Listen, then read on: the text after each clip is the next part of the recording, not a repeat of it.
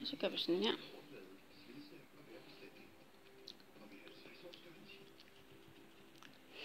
Ja. Prøver vi ham igen, min lille søde lille hundevalp. Bølle. Og I må endelig huske at like alle mine film ude på YouTube. Lige med det samme, når I får tid til det. Og jeg vil blive rigtig meget glad, hvis I gør det lige med det samme, når I får tid til det.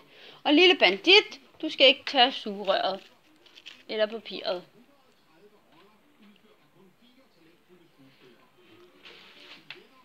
Bølle, du er så fræk. Det er du altså.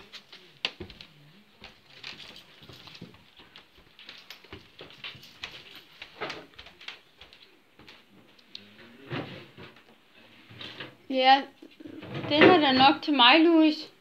Ellers så skal vi hælde den op i et glas. Ja, jeg skal. Det ved du da godt, lille Louis. Du kan da ikke bare tage, vel, lille Louis. Det ved du da godt.